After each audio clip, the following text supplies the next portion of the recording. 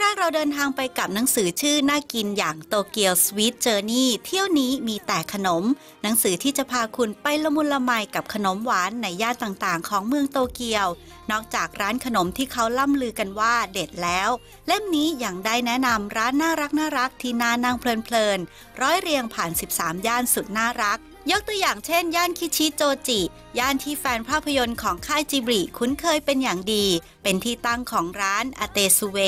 ร้านเค้กชื่ออ่านยากแต่มีความหมายดีๆ ในภาษาฝรั่งเศสว่า ขอให้พระเจ้าคุ้มครอง เป็นร้านที่ได้รางวัล Tokyo Best Sweet ร้านเค้กที่อร่อยที่สุดในโตเกียว 4 ปีซ้อน คอนเฟิร์มได้จากภาพคนที่ต่อแถวยาวเหยียดเพื่อได้ลิ้มลอง นอกจากนี้ยังมีร้านขนมน่ากินมากมายที่ฝังตัวตามรายทางอยู่ในย่านคิชิโจจิแห่งนี้ ไปต่อกันที่ย่านโคเอนจิ ย่านที่นักชอบของมือสอง ไม่ควรพลาด และควรไปเยือนร้านคาเฟ่น่ารักน่ารักที่แอบอิงตามรายทาง อย่างร้าน Floresta Nature Donut ร้านโดนัทโฮมเมดที่มีลวดลายสารพัดสัตว์ต่างๆ ร้านคาเฟ่ Happiness ที่จะพาคุณย้อนวัยกลับไปเป็นเด็กอีกครั้ง โดยบรรยากาศของตัวการ์ตูนพร้อมด้วยอาหารอร่อยๆ นอกจากขนมแล้วเล่มนี้ยังได้แนะนำร้านขายอุปกรณ์ทำขนมในย่านคัปปาบาชิไว้ให้อีกด้วยค่ะ